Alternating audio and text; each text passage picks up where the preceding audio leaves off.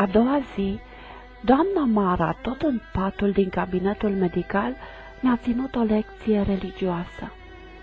Mi-a vorbit de cele zece porunci pe care Moise le-a adus de pe muntele Sinai în urma întâlnirii cu Dumnezeu. Codul penal, îmi spunea doamna Mara, îți aduce lesne aminte de cele zece porunci biblice, dacă nu le respecti. Ce este acela cod penal?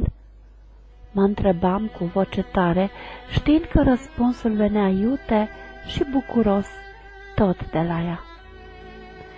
Este abecedarul pedepselor pentru o rea purtare. Așa decurgeau și lecțiile de istorie, biologie, geografie, teatru, muzică, patriotism, demnitate, omenie. Poate că doamna Mara mă pregătea în taină să-i devin copil. Poate că așa o mai fi făcut și cu alți copii după ce eu n-am mai fost în școală. Nu știu asta. Important este că tot ceea ce a făcut doamna Mara cu mine, indiferent de motive, a pus bazele moralei și educației mele. Avea un spirit de observație care îi aducea multe beneficii, o intuiție despre care îmi povestea adesea și cu care se mândrea. Era un om corect, în primul rând cu ea însăși.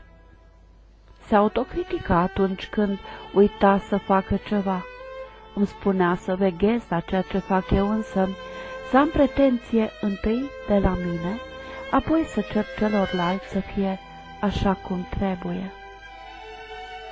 În curând a venit și ziua sărbării.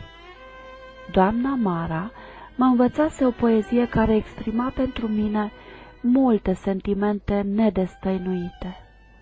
Mama lui Coșbuc. O învățasem bine, o recitam perfect, pentru că doamna nu mă lăsa să învăț greșit. Cuvintele acelea îmi dăteau aripi, mă făceau să fiu nerăbdătoare, să reprezint pe doamna pentru care merita să lupt. Trebuia să arăt audienței din care făcea parte și domnul director al școlii că un copil este creația dascălului lui. Este rodul muncii și implicării lui. Acum doamna mea dădea răspunsul colegei care ne jignise numai din orgoliu.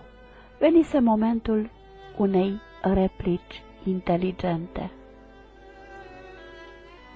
Cami, știi ce ai de făcut.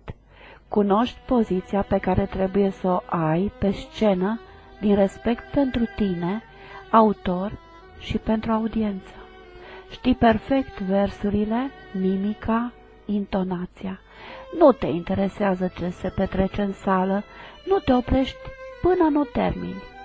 Privești înainte și nu vezi decât pe mama îndurerată, căsuța în care torc fetele care sar la geam.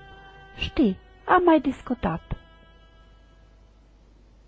Am plecat spre sala de festivități.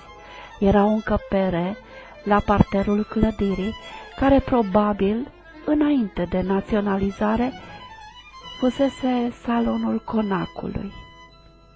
Undeva, într-un colț, lângă scara care ducea la etaj, era un brad, un brad uriaș, împodobit dumnezeiește. În celălalt capăt al sălii era un șemineu,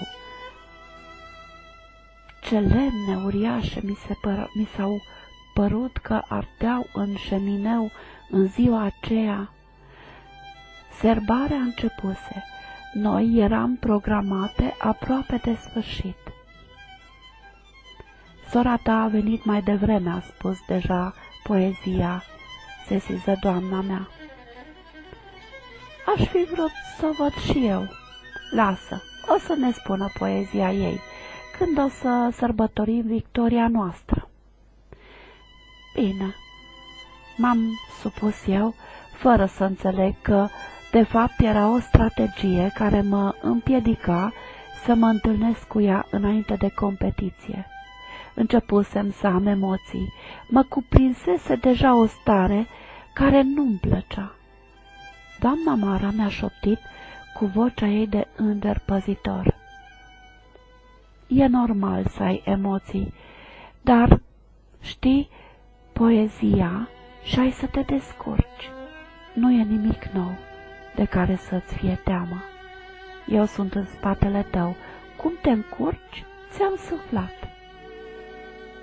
Un băiețel bine îmbrăcat, care avea rolul prezentatorului, mi-a anunțat apariția. A spus numele poeziei, dar a pronunțat eronat numele autorului.